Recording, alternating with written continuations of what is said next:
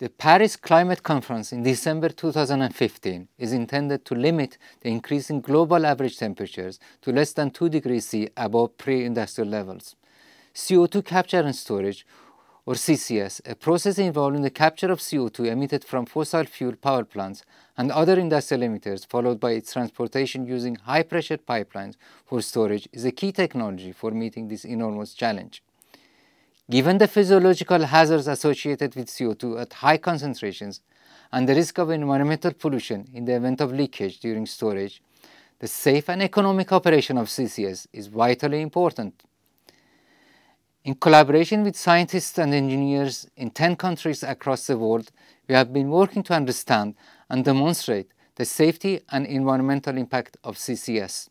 We have constructed world-class test facilities conduct realistic scale experiments and validate our simulations. At over 250 meters, our extensively instrumented CO2 pipeline in China is the longest test pipeline in the world conducting large-scale, high-pressure pipeline rupture CO2 plume dispersion tests. Using infrared recording, our partners in France have for the first time conducted pipe leak experiments to determine the likelihood of brittle fracture propagation and hence recommend relevant pipeline materials to resist it.